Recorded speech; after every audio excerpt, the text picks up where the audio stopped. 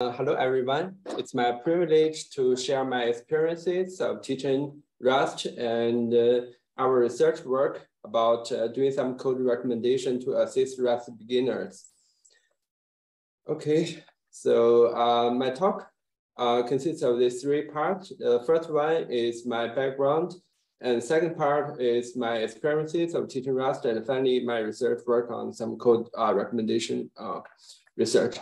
And uh, I'm a tenure track associate professor at Fudan University. My research interest uh, lies in software reliability, especially using some uh, program analysis uh, techniques uh, to enhance uh, software to detect bugs. And I have done some publications related to Rust. So that's how I know Rust. That's how I learn Rust. So the main course I teach at Fudan University these two courses. The first one is uh, postgraduate course. it's uh, memory safety and program language design. in this course, I teach um, the basic design principles of Rust and the memory safety issues it aims to address. And the second course is compiler theory. It's an undergraduate course. And in this uh, course, I also introduce some uh, concept related to Rust for, uh, for example, some uh, grammars of the type system. So why um, I'm interested in Rust? Because in, uh, I'm um, doing software reliability research. And uh, in this field, we cannot trust developers, of course. Uh, where in the past, there are already many papers working on detecting bugs through uh, software testing or static analysis or dynamic analysis but um, there are still, uh, as you know, still many bugs in software. Uh, so Rust uh, aimed to tackle this problem from a new trial. It uh, um, tried to prevent critical bugs through language design, while still offering adequate control uh, flexibility. Well, the, the goal is ambitious, but it's still uh, it's also very challenging to balance between the security and usability. So uh, that's why uh, I'm curious about whether Rust can achieve the goal. So I did my research work uh, by surveying uh, many bugs, um, like some CVEs, and do some um, program analysis research related to, to Rust. So I want to highlight the result of my survey. Uh, so the survey is based on uh, a data set of over 100 memory safety bugs. And these bugs uh, some bugs are from a third, a third party libraries and some bugs from the standard libraries or the compilers. And the result, um, the, the main result is uh, Rust is really effective uh, in memory safety protection. Um, as an evidence, all these bugs require unsafe code uh, except uh, the compiler bug. And uh, secondly, most CVEs, which are the, the, the most critical bugs, uh, they are API soundness issues. Uh, none of these uh, CVEs are found uh, in executable programs, which means um, the APIs they are unsound. Uh, the the bug reporters they, they can uh, write some uh, proof of concept examples. Uh, they call this unsound safe APIs, and uh, without using any unsafe code, they can trigger some memory safety problems. So uh, all these bugs, they are uh, API soundness issues. They are mild issues.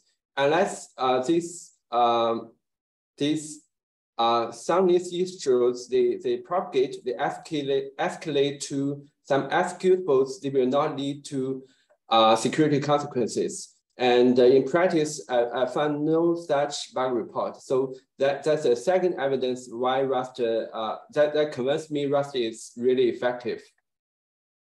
So uh, I, uh, based on my uh, result, I think Rust is a successful language. I, I also uh, get some um, similar feedback from um, my colleague or student. My student told me as long as I as a Rust program can compile, the executable is always likely to work. It will not crash. Um, and uh, another senior Rust developer, developer told me I can always feel my skill improvement in using the language. There are many uh, um, uh, interesting concepts uh, to learn. And the second reason why I, I choose to teach Rust because it's a new language with very few legacy features. Um, imagine C++, uh, the intelligent pointers. Uh, some, some people um, often uh, try to compare intelligent pointers with Rust, uh, the, the reference counter and Rust ownership. But um, in C++, uh, plus, you can still use raw pointers as you, you um, very um, often. So uh, C++, the, the, the language is, is not as, as secure because um, there are many uh, legacy features. And besides, there are many attractive features of Rust uh, as a, a, new programming language besides the memory safety guarantee. For example, the power, powerful system and uh, the exception handling uh, mechanism. I will use these two uh, concrete examples to, to, to demonstrate the, the, the features I like. The first one is uh, the variable declaration uh, grammar is very simple, but it's very, um, uh, I think it's very important.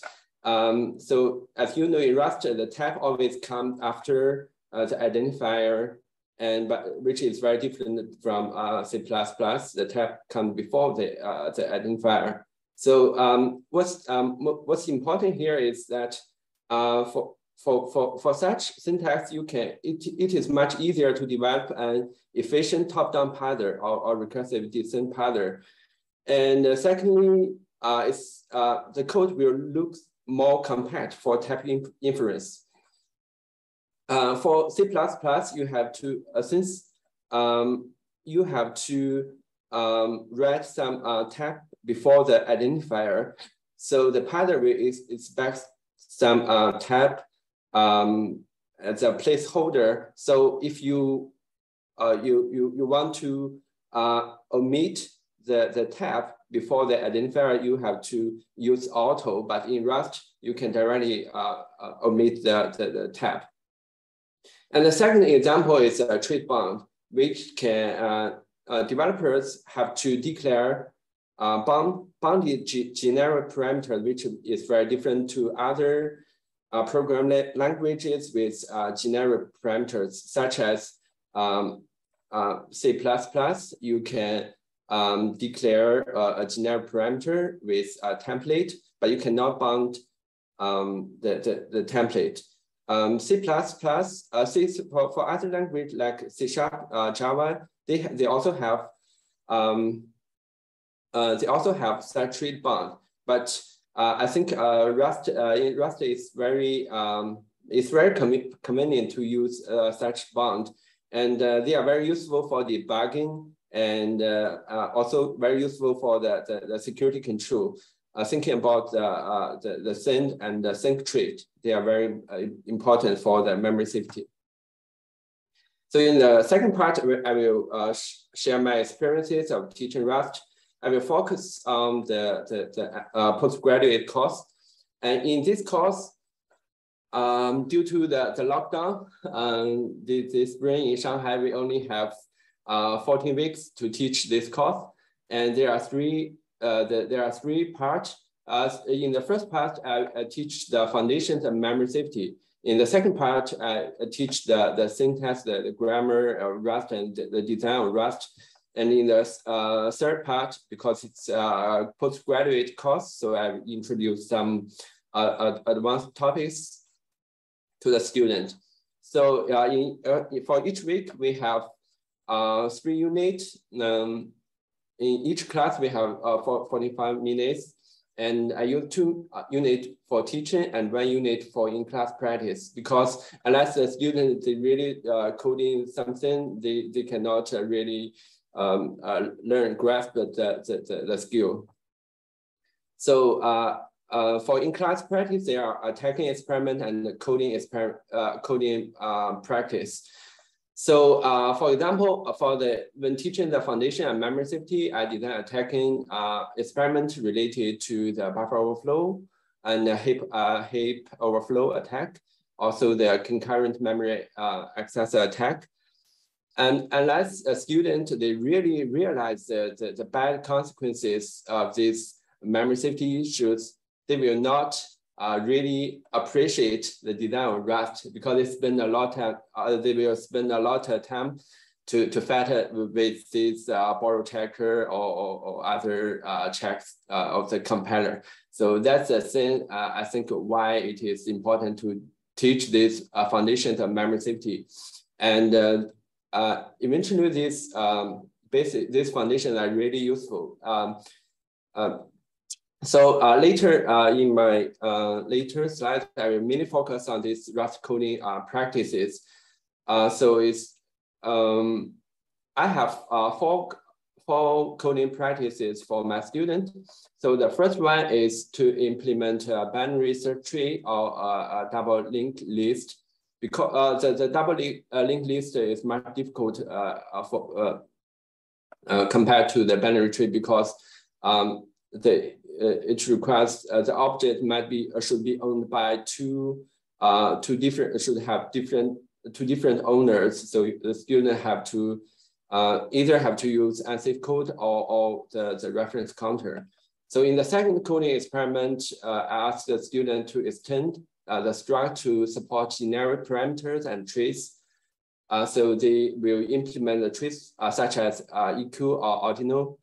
Um, in, in the uh, third um, assignment, the student will uh, implement an iterator for the struct. They will demonstrate how the filter works. In this uh, assignment, they will practice with a closure. So in the uh, fourth assignment, the student has to rewrite the struct to be thread safe. They will implement the uh, sync and send trait and show the struct is uh, stress. So basically, um, these um, my teaching um, teaching materials and these coding uh, practices, they, they grow, grows uh, radically. The, the core part is uh, ownership. And then um, with these goals, uh, the student can learn uh, the type system, um, uh, including the generic trait and closure, and finally the concurrency issues. So my student um, According to the feedback from the student, uh, most stu students can finish their assignment in two hours, is, except one student, uh, it do, uh, uh, he, he take the double linked list uh, assignment and uh, use eight hours to do the first um, coding practice. So uh, one interesting um, problem um, in appears in a lot of social media and, and, and we just discussed by, by, uh, by you guys. And it's, it's just, just difficult to, to learn. Uh, I also get some feed, uh, responses from my students that, that uh, they are very interesting. Um, one student told me, I just uh, I'm familiar with the ownership. And another student told me, I just really have uh, much restrictions on developers. So I, the third, third student told me, Rust, although Rust is difficult but interesting, as I, I have to spend my time combating with the compiler borrow check and the reference issues. And the fourth student told me it's not that difficult if uh, you have some uh, C++ background, but I, I think lifetime is uh, really hard. So uh, uh, my understanding of uh, the, the learning curve is, as I tried in my class, if the student uh, have uh, some program background. And uh, if we assume a minimal raster for the beginners, we, although it is still not easy to write compilable code because students have to um, to to learn the ex exclusive mutability principle and lifetime mechanism, but it should be manageable. All students can uh, finish their assignment uh, within two or three hours. Uh, I think the most uh, difficult things uh, are the uh, advanced features of Rust. Um, uh, on one hand, Rust brings a barrier to reading the code Rust by others, especially some scary code as you posted on the, uh, the, the, the Zulip. And secondly, especially for some developers from C++, transfer from these other programming languages, they may ignore the some, soundness requirement of their APIs, which is the magic of Rust uh, for the memory safety protection. So uh, uh after uh, oh, uh, sorry. I, I think we're about at 15 minutes. So maybe if you want to take like one or two minutes to quickly tell us about the code recommendation, and then we can move on to, to okay, okay. So for, yeah. for, for code uh, recommendation, uh, we will focus on the uh, some unnecessary uh, usage of unsafe code.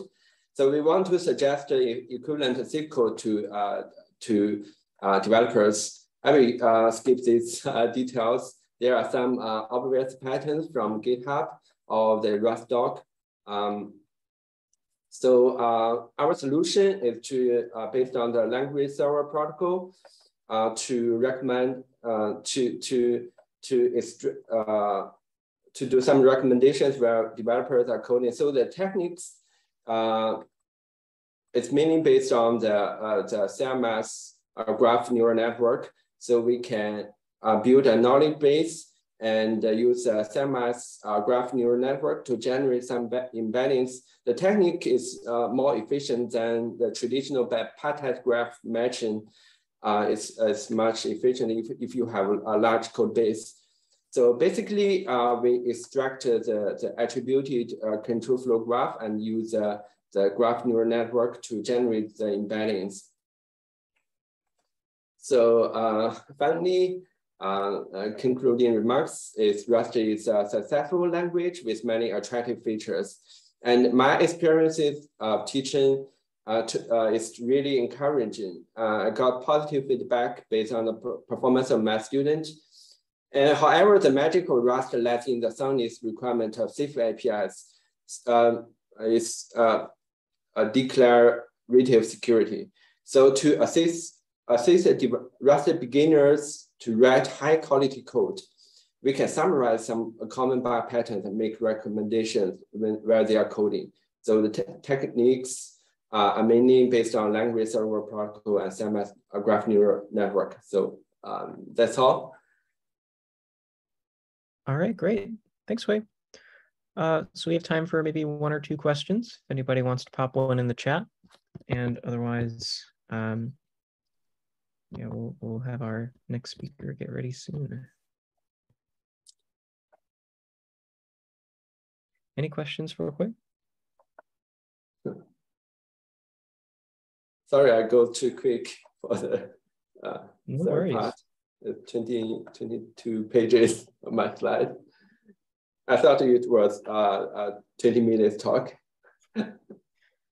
Uh, yeah, so one question is, could you extend ideas of recommendation to code with type errors? So does your recommendation work when, the, when a program is ill-typed? Or could it? Uh, so uh, thanks for the good question. Uh, I think uh, the code recommendation, um, as long as it really um, depends on whether you can build, you can you can you can collect uh, much uh, uh, many sample enough sample to train the uh, knowledge base. So because as you know, uh, for, we use um, a neural net network. You have to do you have to collect many code, uh, hundreds of code or thousands of code and do code recommendation. So as long as we traditionally to detect type errors, we usually use uh, some um, static analysis approach. And uh, it's really heuristic to use uh, this uh, code recommendation approach, but it's worth to, uh, to it's worth trying, I think.